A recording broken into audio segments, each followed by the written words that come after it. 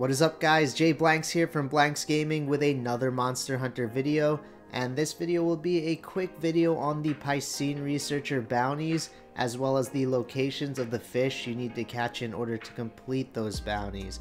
I also just released a video on the Endemic Researcher bounties as well as the locations of those animals you need to complete those bounties and how to unlock the Downy Crake or Phantom Bird bounty. So be sure to check that out if you guys are curious on where those locations are. And also, if you guys learned something today or if this video helps you guys out, feel free to drop a like and feel free to subscribe. It really does help the channel out. And having said that, let's begin the video. So as I mentioned in the previous video, a very important item to have is the ghillie mantle because it does camouflage you, preventing the animal or fish from running away when you approach it so it's very useful for completing these bounties. And the three steps to complete these bounties is to talk to the researcher and then capture whatever type of fish they need and then head back to Astera to claim the rewards.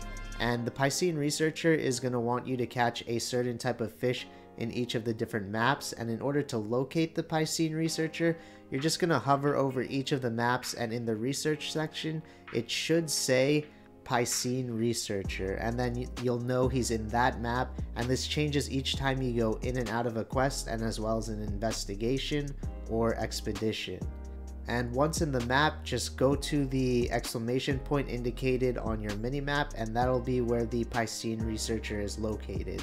The first location will be in the Ancient Forest, and the researcher will want you to catch a pink Parexus, and this can be found in the pond where the researcher is standing next to, so it's a very easy bounty to complete and you can knock it out within a couple of seconds.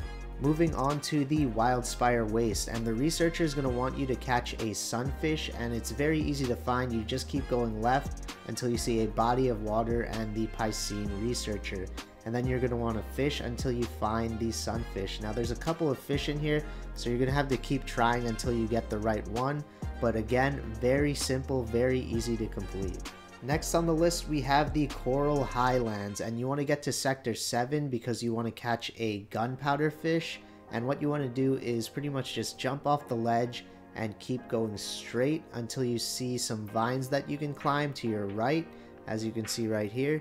You climb up and then you keep climbing up more vines to your right, and then you go to your left. You'll see vines, but you want to walk straight past that and you'll come to a little pond and this is where you'll find the gunpowder fish.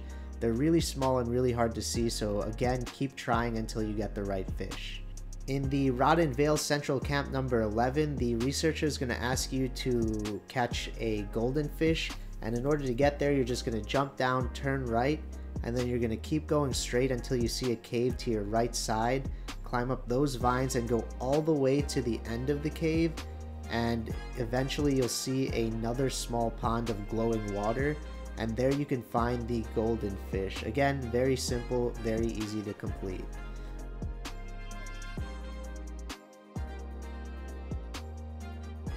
The last location will be in Elder Recess. You want to go to camp number one and the researcher is going to want you to catch a platinum fish. So in order to get to the location, you want to go through the gap and keep climbing down as you can see here, I actually got a little lost, so I opened the map. Then I realized I was going the wrong way, so I turned around and I realized that the pond or location of the fish was actually right across from where we jumped.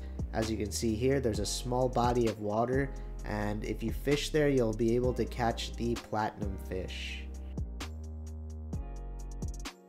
Okay, so we finally captured all of the fish and we completed all of the bounties. So we want to head back to Astera to claim those rewards.